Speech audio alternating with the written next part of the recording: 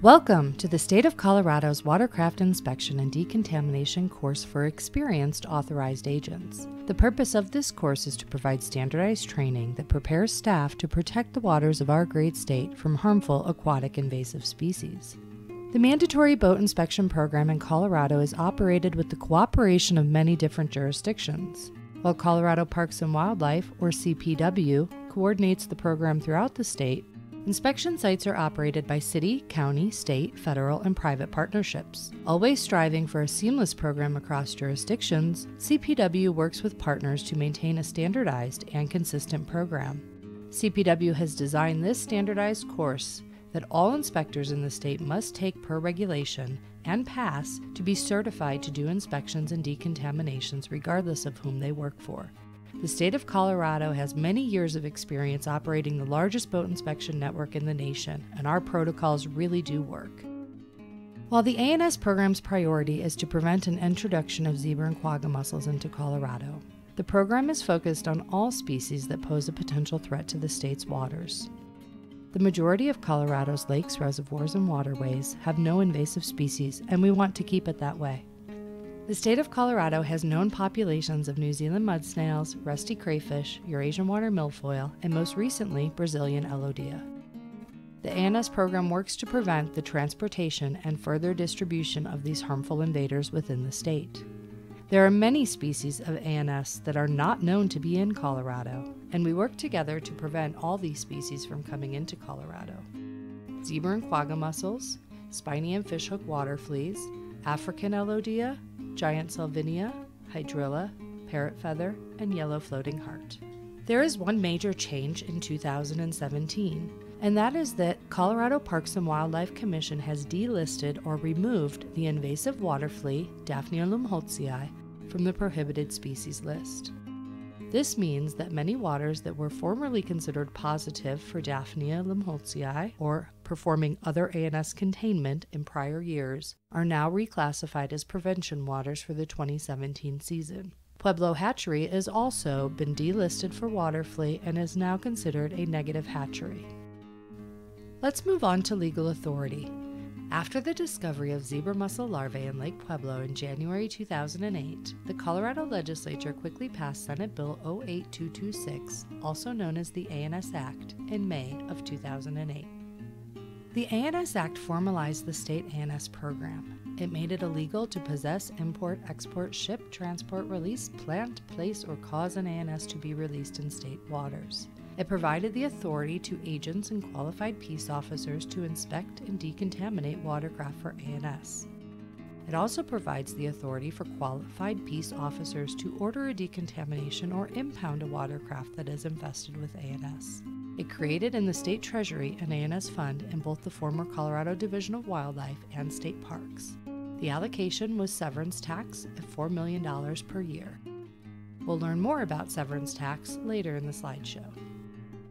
The Act created what is known as an authorized agent. This is the legal term for an inspector or a decontaminator. The law also gives authority to agents to temporarily stop and detain a conveyance and inspect for ANS, and to recommend and perform a decontamination if the operator is willing. You will be an authorized agent after you pass this course. Qualified peace officers are also known as post certified peace officers.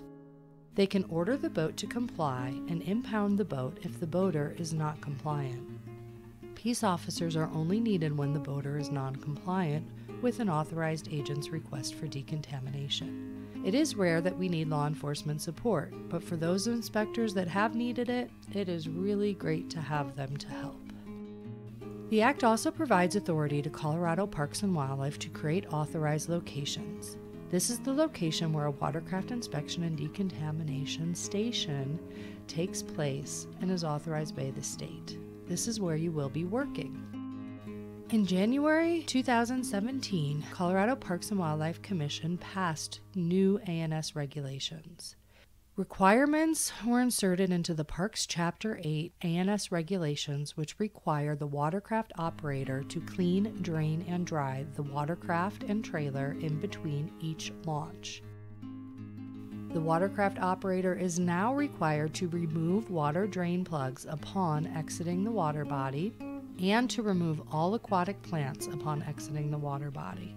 It is now prohibited to transport a vessel or other floating device, which includes the watercraft and the trailer, over land with water drain plugs in place or aquatic plants attached. This is a large change to our regulations, and we will need to educate all of our boaters about these new requirements this year. Also, be aware that this includes CPW staff and professionals in other governmental agencies and in private industry. Anyone transporting a watercraft and trailer needs to pull the water drain plugs and remove aquatic plants prior to leaving the water body and are prohibited from transporting that conveyance over land with drain plugs in place and aquatic plants attached. The Commission also delisted Daphnia lumholtzii from Wildlife Chapter 0 Prohibited Aquatic Species Regulations and the Parks Chapter 8 Aquatic Nuisance Species Regulations. Okay, let's take a look at the state ANS program. First, we'll begin at the statewide level and examine the big picture. The mission of the Aquatic Nuisance Species Program is to protect wildlife, recreation, natural resources, water infrastructure, and the economy by preventing the introduction of zebra and quagga mussels and other invasive species through containing current infestations and stopping the spread into new waters. The ANS program achieves this through watercraft inspection and decontamination stations, sampling for early detection and monitoring of current populations, and public education and information campaigns. The ANS program's implementation is based on large amounts of data and scientific analyses. Everything we do is grounded in risk assessments based on scientific literature. In 2016, the ANS program updated several of their previous risk assessments. The main focus for watercraft inspection and decontamination stations, as well as sampling and monitoring protocols, is based on really three distinct analyses. The first being the risk of introduction. This is based on over a million watercraft inspection and decontamination data points. What is the likelihood that mussels will be introduced via watercraft? The data that you collect at your watercraft inspection and decontamination station provides valuable insight to decision makers in terms of how to prioritize funding and resources. The second piece of the program is based on data collected by sampling and monitoring crews. This is focused on the habitat requirements for zebra and quagga mussels, and we call it the risk of establishment, also known as habitat suitability analyses. The first part is what is the likelihood that, if introduced, mussels could build their shells and survive? The second part is what is the likelihood that, if mussels built shells and survived, that they could grow, reproduce, and actually establish an invasive population? So let's talk about the risk of introduction first. There are five total factors that we look at from watercraft inspection and decontamination data the total number of incoming inspections, the boater origin, or where is the boat coming from, the amount of boaters who answered yes to your risk assessment question Have you been boating out of state in the last 30 days? The watercraft risk level, which you remember from our Watercraft 101, and whether or not the watercraft is coming from a Colorado positive or suspect water for any ANS. Again, we analyzed over 1 million data points from watercraft inspection and decontamination stations over the last several years. The scores were ranked for each category 1 through 4 and averaged to get the final results. It is very important that inspectors and decontaminators collect good, accurate data so that these analyses can be as complete as possible. The second phase, uh, which we call the risk of establishment, and many of you know as habitat suitability analyses, focuses on data collected by sampling and monitoring crews. This is 2013 to 2016 data in which 177 water bodies were assessed. We looked at over 280,000 statewide data points. The first part of this analysis is based on individual animal survival. We looked at calcium, pH, alkalinity, and hardness. These are the primary factors necessary for shell formation and give us information about whether or not a mussel can survive in a specific water body. The second part looks at long term population expansion. We analyzed trophic variables including nitrogen, phosphorus, and chlorophyll A. This is the secondary factor necessary for long term population survival. Our results were that all waters fall within a suitable range for zebra and quagga mussel habitat. Approximately 70% of the 177 lakes and reservoirs analyzed fall within the very high or high risk level. That means that they have optimal habitat for zebra and quagga mussels to grow and establish and become invasive. Over the last two years, our sampling and monitoring teams had temperature probes out in the lakes and reservoirs. We analyzed this data over the winter and determined temperature is not a limiting factor for zebra and quagga mussel establishment in any lake or reservoir in the state of Colorado. All waters fall within suitable temperature ranges for zebra and quagga mussel establishment and survivability. All of this data is extremely important to help inform decision makers. In the last year, the ANS fund has changed. Due to a Supreme Court decision last spring related to severance tax, the ANS fund is no longer collecting income from severance tax. CPW has used ANS fund reserve dollars to complete the 2016 boating season. The Wildlife ANS fund has no money left and is no longer collecting income. The expected fund balance beginning the 2017 calendar year in the Parks ANS Fund is approximately $1.5 million. CPW does not expect to gain any additional income from severance tax. We have undergone a broad stakeholder process the last nine months in order to raise funding for the 2017 season, which has been quite successful. We are also working with DNR to propose legislation that would provide a new stable source of funding for the ANS program moving forward. Just so you know how our funding is spent, 63% of the money that we have goes to fund our 11 very high risk waters. 12% funds our high risk waters, 17% medium risk waters, 3% low risk waters, and 5% very low risk waters. Again, the data collected at watercraft inspection decontamination stations and by our sampling and monitoring crews is providing valuable information and insights to our leadership team and our legislators in order to make decisions about how to spend our limited resources. Due to the elimination of severance tax as the ANS fund source, there are many changes that need to take place in 2017 to bridge the gap. The ANS program is taking a very large budget reduction in order to provide funding to watercraft inspection and decontamination stations and maintain critical functions at the program level. So, you know what to expect in 2017. Education and information has greatly been eliminated. We will no longer be doing herbicide control on Eurasian water milfoil unless an alternate funding source can be identified. We will discontinue the rusty crayfish removal and monitoring program. We have also discontinued the New Zealand mud snail monitoring program. We will continue to utilize our U.S. Fish and Wildlife Service QZAP grant to maintain our mobile app and data management system for watercraft inspection and decontamination stations. CPW will not be putting funding into this, and we will survive solely on our grant this year. We will no longer have a decontamination specialist in the ANS program office to assist field sites with decontamination unit maintenance and repair. We will also not be doing secret shopper quality control. There will be no signs created with ANS funds this year, and we have zeroed out our research budget. We will maintain our sampling and monitoring program at greatly reduced rates, as well as the ANS laboratory. We are continuing to fundraise for sites, and we hope to raise enough money to be whole. It is likely that our very low risk waters and some of our low risk waters will not be funded for WID programs in 2017. We are working with our legislature very closely in order to support the program long term beginning in 2018. The Interim Water Resources Review Committee of the Colorado General Assembly has submitted Joint Resolution A, which is titled HJR 17 1004. This resolution is titled Concerning Funding for the Prevention of Aquatic Nuisance Species in Colorado.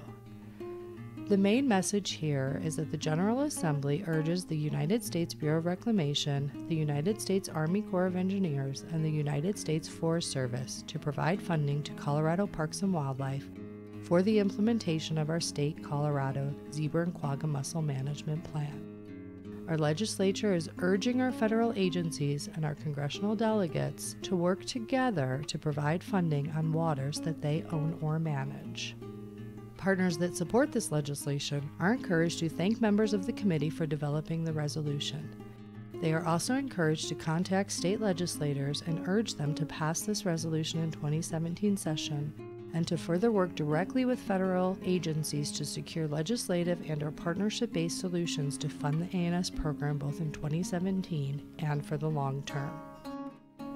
CPW has been working with DNR on a proposed ANS sticker or fee bill to fund the program. This is coupled with the agency's financial sustainability bill. What is being proposed is a potential ANS sticker for boaters, which includes motorized boaters and non motorized boaters, as well as in state and out of state boaters.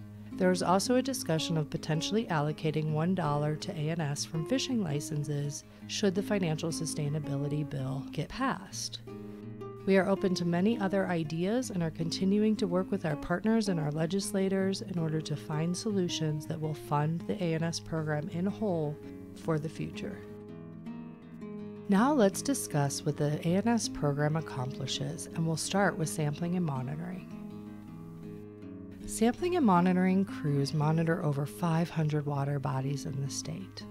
The crews follow standardized protocols that target specific life cycles of zebra and quagga mussels. We do plankton tows to find veligers, which is the initial microscopic planktonic baby life stage of a zebra and quagga mussels.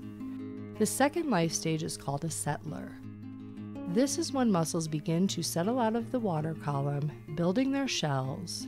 We put substrates in water bodies to try to identify the settler stage. The final life stage of the mussels are the adults, which is the two shelled animals that you're probably used to seeing. Sampling crews do shoreline surveys in order to identify adult mussels. You will learn a lot more about the mussel life cycle in the next module on biology. The crews also sample for crayfish, plants, and other mollusks.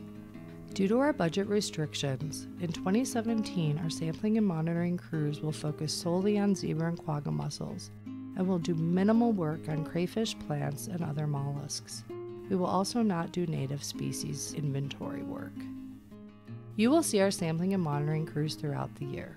The frequency and quantity at which we sample is based on the risk of the water body and has been reduced for 2017. We appreciate your help to get these CPW staffers on the water fast so they can get their work done most efficiently.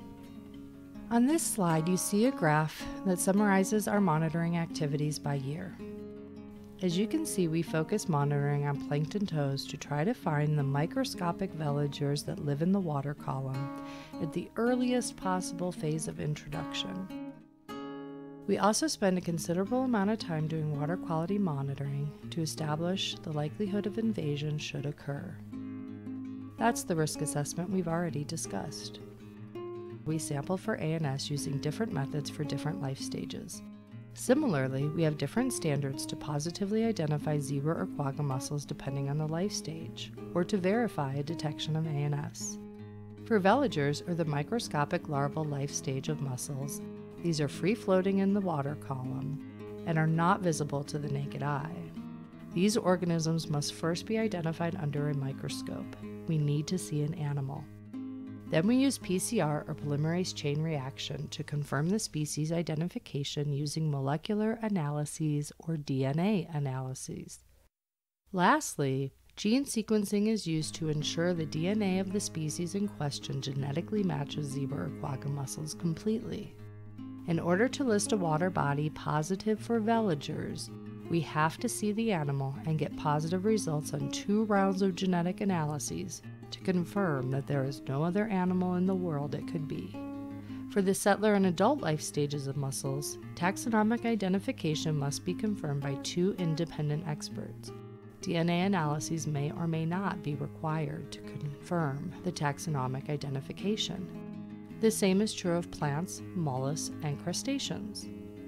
In August 2013, the Western states gathered in Denver and agreed on regional language and water body definitions for ANS detections. Colorado adopted this language in January 2014 along with the other Western states. There have never been an adult detected in Colorado water bodies to date. We have only found zebra or quagga mussel veligers or DNA in Colorado. All waters are now negative for zebra and quagga mussels in Colorado and therefore must operate as prevention waters. Some waters may be positive for a different ANS, such as Eurasian water milfoil or New Zealand mud snails. These waters follow the other ANS containment procedures for boats exiting the lakes. An inconclusive means that there's an exposure to mussels, but the actual organisms have not been found. This typically occurs when environmental DNA is found. There are no inconclusive waters in Colorado for mussels. A suspect water means that a body of water has met the minimum criteria for detection only once. There are no suspect waters in Colorado for zebra or quagga mussels. A positive water body means that the water body has met the minimum criteria for detection more than once. There are no positive waters for zebra and quagga mussels in Colorado. An infested water body means that there is an adult reproducing population in the water body. There has never been an infested water body in Colorado. That said, please know that we are surrounded by infested waters and they continue to pop up throughout the season. Kansas, Nebraska, South Dakota, Montana, Utah, Texas, Oklahoma, Arizona, California, Nevada, and everything east of Colorado has an infested water body.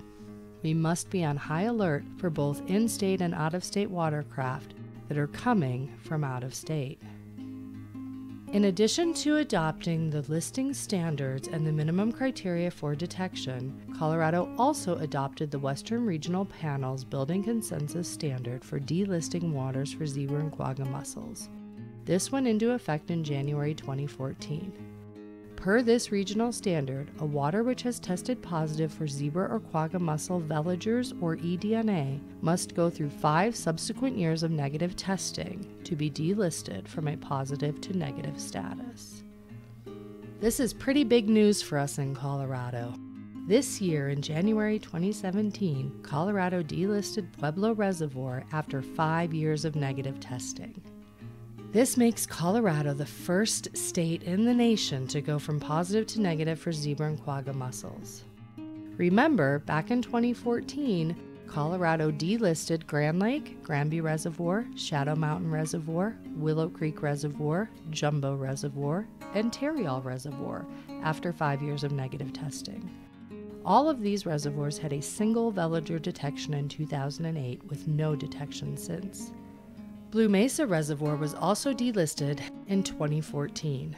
Only eDNA has ever been found in Blue Mesa Reservoir. There has never been a veliger or an adult detected in Blue Mesa. Colorado has successfully stopped the continued inoculation of our waters with zebra and quagga mussels through the implementation of our mandatory boat inspection and decontamination program. The work that you perform on the boat ramps every single day really does work and is critical to protecting our water bodies from invasion. So let's talk about watercraft inspection and decontamination, or the WID program. Colorado is a mandatory inspection state. This means that a boat has to be inspected before launching in any water of the state according to state law. If the watercraft has previously been launched out of state, if it is leaving an ANS positive water within the state, or prior to launching anywhere the owner or manager requires it. The majority of our WIDs are prevention based. All out of state boats must pass a state certified inspection prior to launching on any Colorado water body. There are four types of watercraft inspection and decontamination stations. A negative prevention water is a water that has never had any verified detection of ANS this includes those that were delisted and do not have another ANS present.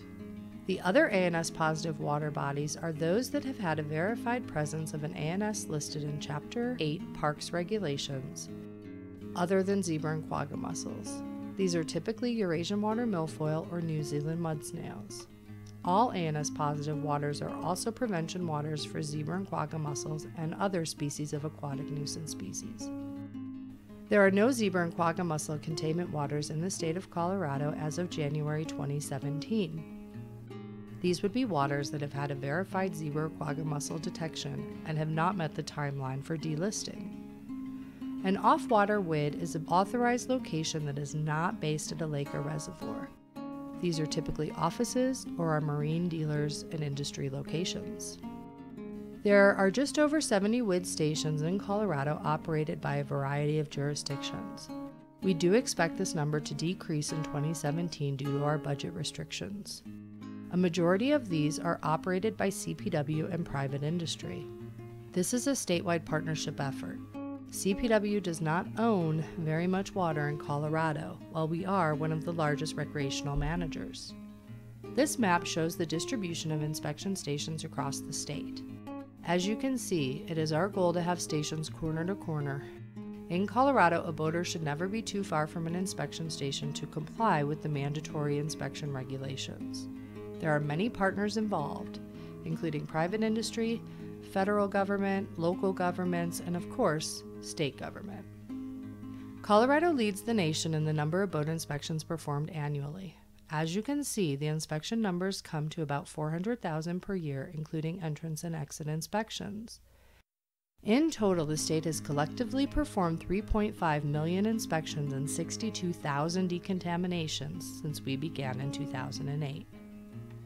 Decontaminations continue to increase year after year.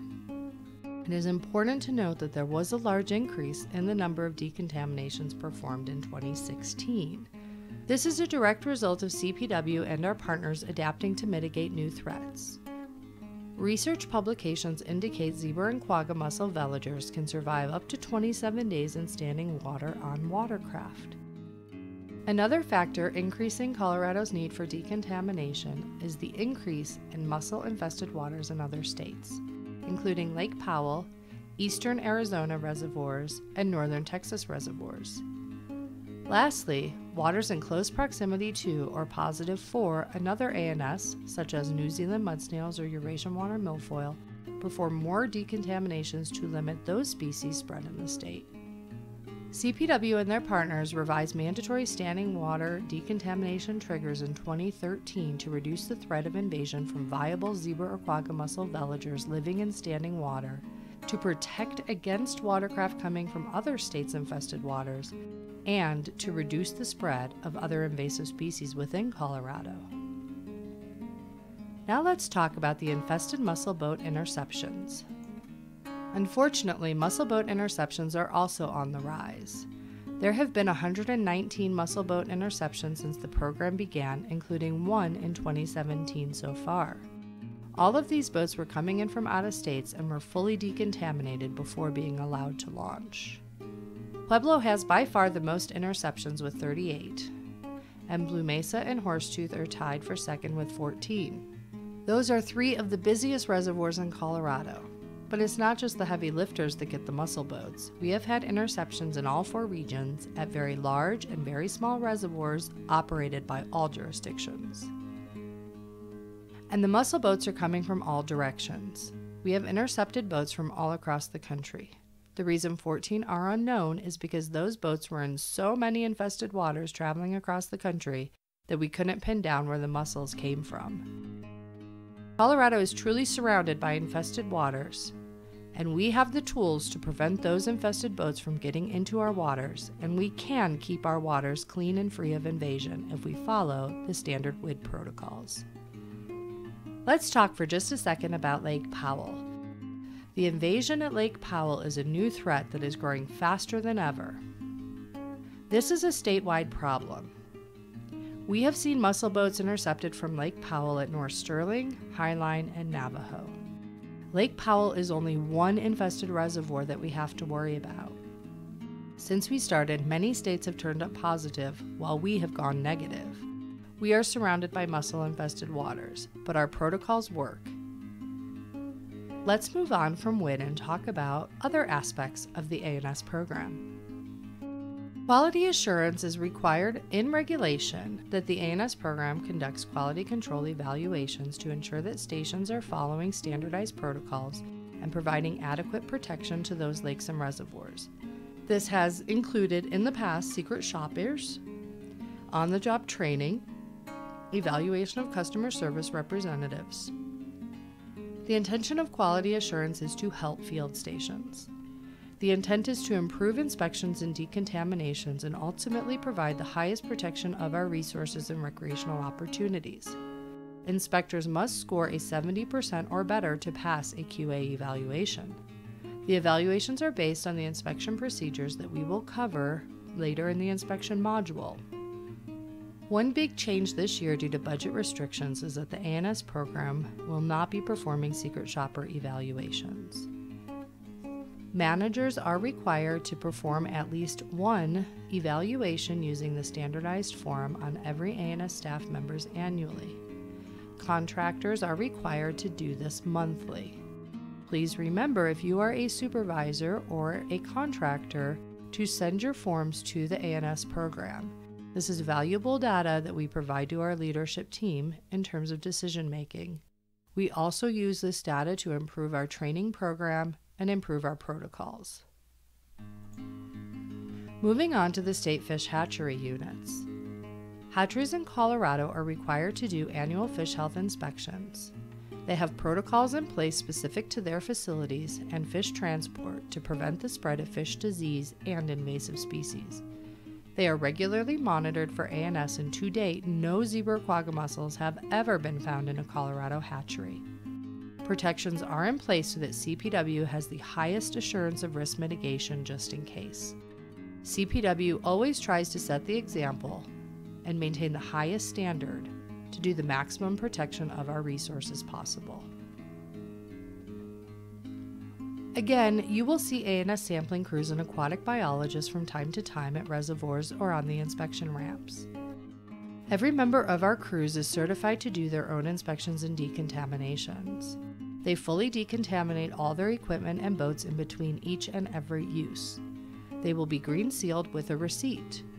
You will see the protocol in the inspection module under the green seal section. While they do have to stop it to have the inspectors verify their seal and receipt, we ask that you do not hold them up on the ramps. They are being paid with limited ANS funds, same as you, to sample and monitor the lake and reservoir, and we need to use those resources as efficiently as possible to get them on the water fast so they can get their job done. It is a waste of state resources to have them sitting in line waiting to launch their boat after we just paid them to decontaminate it. We greatly appreciate inspectors quickly moving them through the lines and getting them onto the water as fast as possible. All Western states and Canadian provinces have ANS programs now. Some have very sophisticated boat inspection systems similar to Colorado. However, many states are unfunded or underfunded, and all lack the personnel needed to run inspection stations. While there are many challenges ahead for other states and for the region, the Western states are working together to find common solutions and create a system of reciprocity between the Western states and provinces. We are connected and we are helping each other. Let's move on to education. Education is the most important thing. As an inspector, your primary objective is to educate boaters and anglers to clean and dry their boats and gear in between every single use. Now it is required in regulation that all watercraft operators clean, drain, and dry in between uses, remove all plants, and pull water drain plugs. Colorado will never have the resources to perform inspections and decontaminations on every water body 24 hours a day, 7 days a week. Research has shown that using the authority of the resource or making one understand their impacts on the environment is the most successful way to change negative behavior. If boaters and anglers understand that transporting ANS will cause harm to their favorite boating and fishing spots, they are more likely to clean, drain, and dry their boats and gear and transport them over land, clean, drain, and dry every day. The state of Colorado ANS program trains about 700 inspectors per year. Inspectors go out on boat ramps, and through the inspection and decontamination process, you train close to 90,000 registered boaters, not including our out of state visitors, through the performance of over 400,000 inspections per year. In doing so, you are teaching the boaters to clean, drain, and dry. You are teaching the boaters not to transport standing water. We are changing the culture of boating if there is no water, no mud, no plants, and no animals, Together, we are significantly reducing the risk of transporting invasive species. To assist you with educating the public, we have many educational materials for you to use. The program office develops these to meet the needs of the field. This year alone, we have four new handouts available for your use. We have an ANS program fact sheet, a mussel boat interception fact sheet, a risk assessment fact sheet, and an economic impacts fact sheet. Using these materials provided by the program office helps all jurisdictions maintain consistent messaging to our public every day. You have completed Module 1. Thank you for your time. You may now proceed to Module 2.